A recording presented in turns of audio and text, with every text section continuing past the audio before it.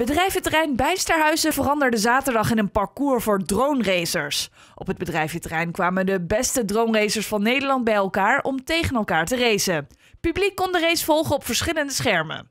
Het toernooi werd georganiseerd in het kader van Start Moving, een logistiek evenement voor jonge ondernemers en starters. Bedrijven presenteerden er de nieuwste ontwikkelingen op het gebied van logistiek.